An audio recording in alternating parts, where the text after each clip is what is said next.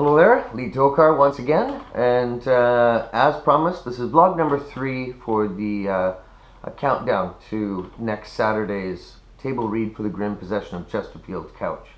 Uh, and again, as promised, I am going to give to you a uh, preview of the cast list that I've selected.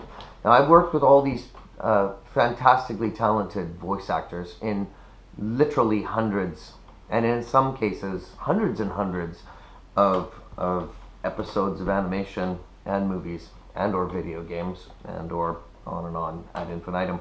So I uh, and when I wrote the the movie, The Grym Possession of Chesterfield Couch, in many instances I actually wrote it with these particular actors in mind.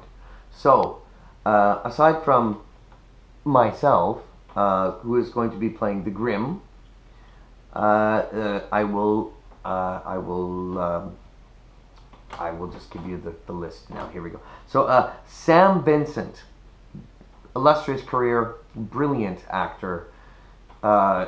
just look him up on IMDb. Look up all of these people on IMDb, and you will be amazed. I mean, the fact that any of them said yes to this, I'm I'm honored.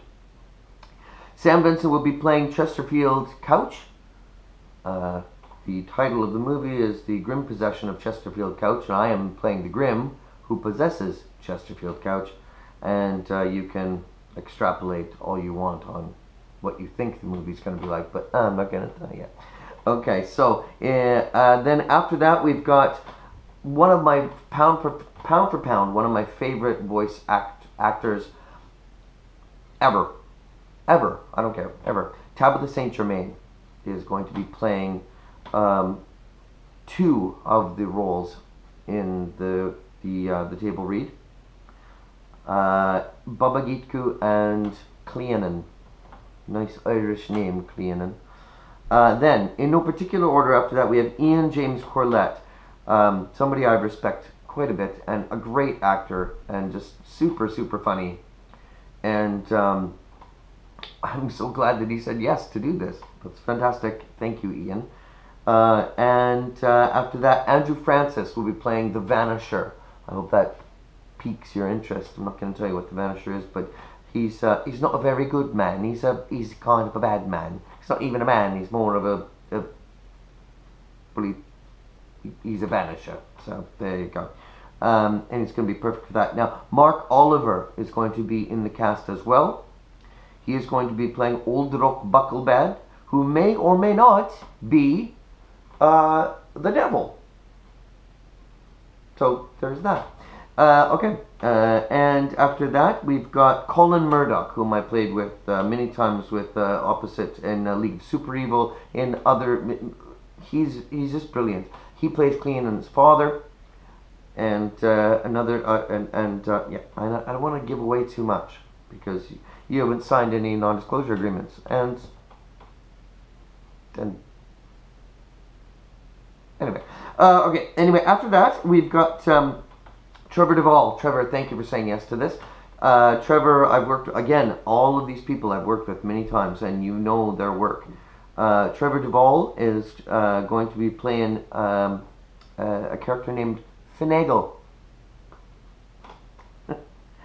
Uh, not going to tell you. I'm not going to tell you anything about this. I just want you to, you know, we're trying to raise interest and eventually money to make the movie. Uh, after that, we have Richard Ian Cox. Super funny.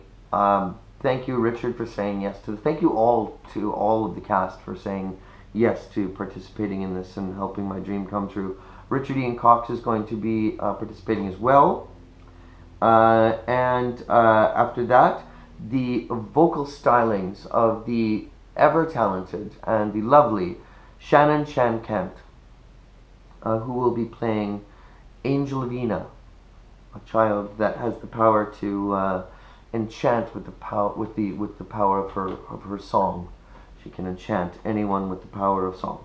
And that's so much like life imitating art, imitating life, because Shannon, you do that in real life. Uh, after that, we've got Brian Drummond. Again, pound for pound, one of the most versatile voice actors that I know. Amazing, amazing, just There's nothing that this guy can't do. And he will be playing uh, a pivotal role in this. Uh, the name is Mr. Blackroot. And you don't need to know anything other than that. But I hope it piques your interest. I hope all this piques your interest. Really embarrassing if I did all this for nothing and nobody cared. That would suck. Okay. Anyway, um, after after that, we've got the Bucklebad Brothers. Now, the Bucklebad Brothers are three of the most monstrous, um, evil uh, people. Is this thing even on? It's not even on, is it? Oh, it is on. I'll edit that out. No, I won't. I'm too lazy. Uh, the Bucklebad Brothers.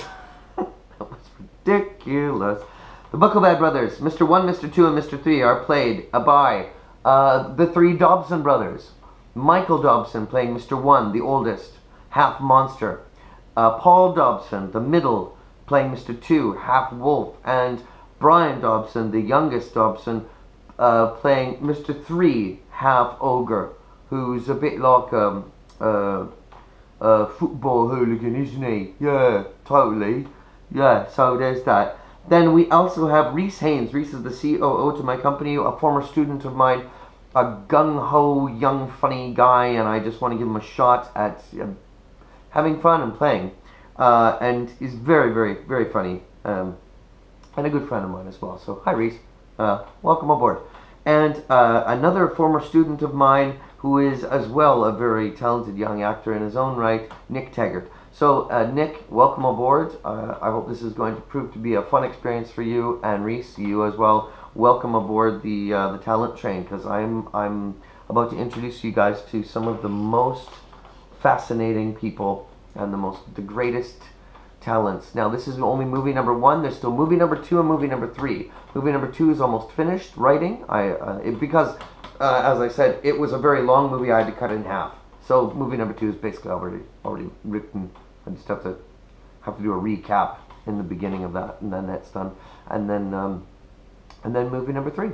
So next Saturday is the table read. I'm so excited. A little nervous, like I said in the first vlog. Trying to be prepared, like I said in the second vlog. Today, as promised, giving you the uh, list of all the people that are going to be involved. So, speaking of people that uh, go on and on too long, I'm going to sign off now because I'm even boring myself. So, uh, tune in tomorrow for vlog number four uh, for the countdown to the table read for the Grym possession of Chesterfield Couch. Go tell the world. I need your help.